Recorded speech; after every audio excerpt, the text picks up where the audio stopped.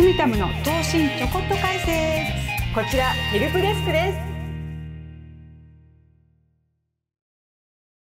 すこんにちは。小野です。小林です。小野コバです。この度ヘルプデスクから動画配信をスタートします。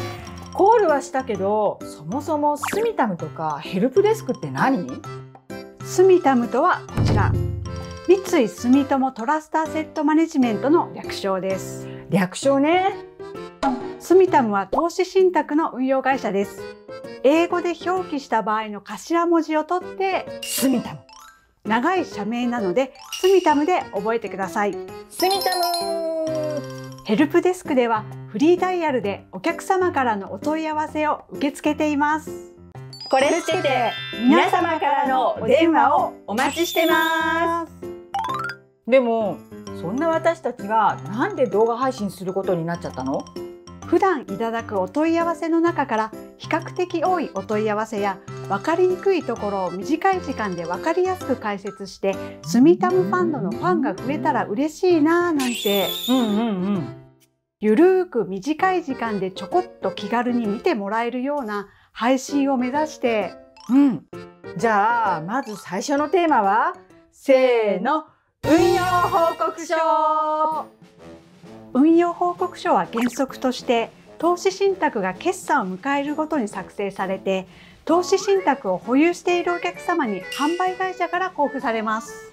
決算ごとに作成されるんだ。会社の決算報告書みたいなものって言って伝わります？うん。その方がわかりやすい。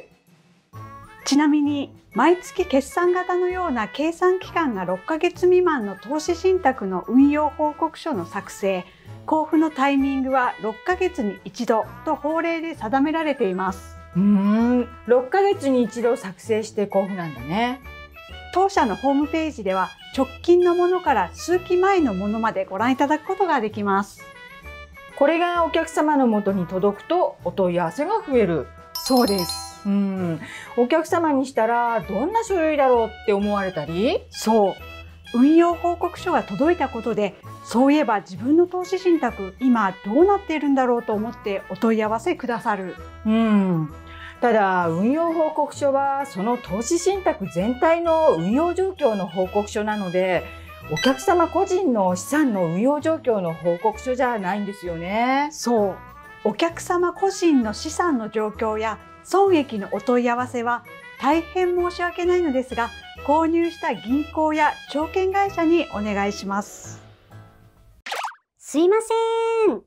突然ですが、失礼します。え？どっかから声だけ聞こえる。声だけって設定なんです。ちょっと聞いていいですか？な、なんでしょ細かくて恐縮ですけど、運用報告書ってサイズが珍しいじゃないですか。正方形のような。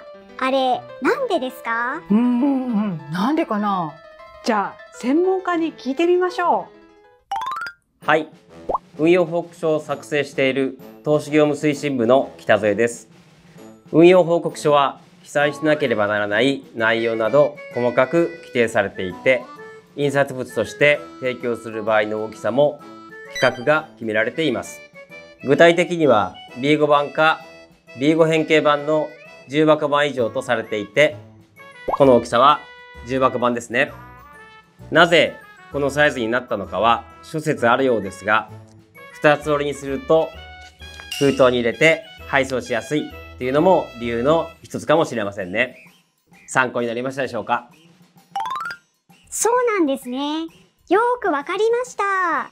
じゃあ、今回はこれで失礼します。うん。じゃあ、またね。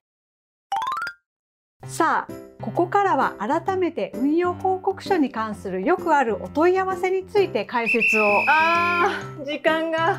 ここでタイムアップです。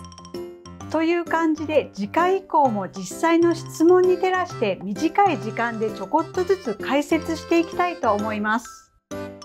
スミタムの投信ちょこっと解説こちら、ヘルプデスクです。次回もお楽しみに当社では投資信託に関する情報を LINE でお届けしています画面上のコードもしくは概要欄の URL から友達登録をお願いします。